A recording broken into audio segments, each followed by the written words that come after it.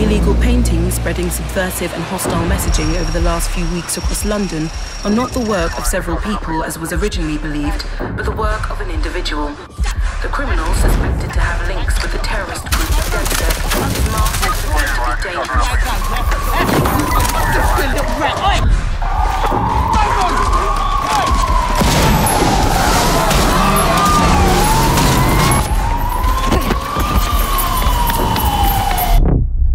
Authorities recommend not to approach the individual. First, they came for the foreigners, and I did not speak out because I was not a foreigner.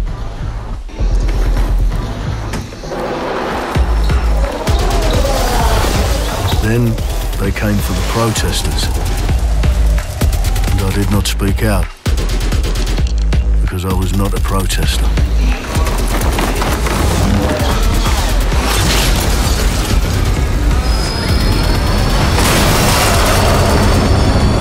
Then they came for the journalists. And I did not speak out because I was not a journalist.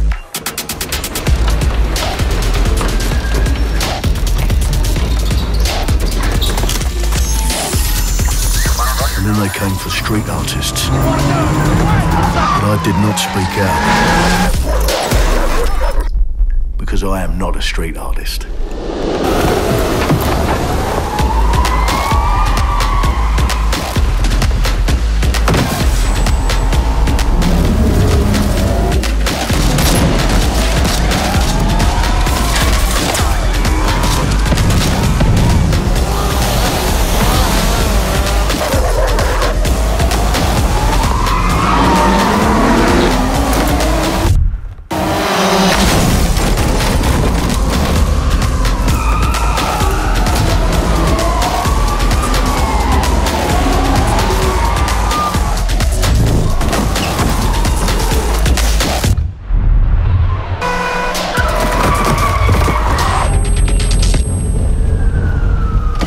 Realised that eventually they'd come for me, and there would be no one left to speak for me.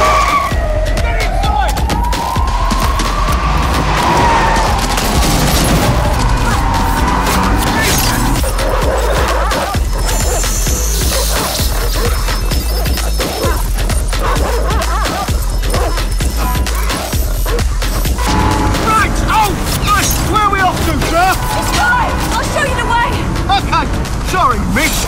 Jesus! All right, so we're in a total mess now, so let's get the hell out of here.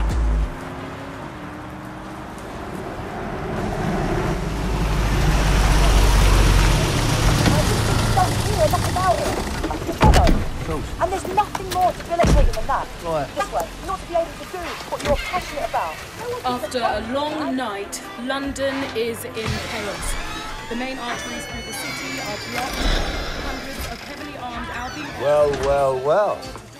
Welcome to the Resistance. There's a welcome gift for our new members. But the disappearance of the criminal You could have told me it was a bloody costume party. has been raised. Try it on. The new key suspect has been identified as David Ford, a 43 year old London taxi driver. He has no criminal record but is currently believed to be a terrorist. People have been asked not to approach him. The authorities advise all residents.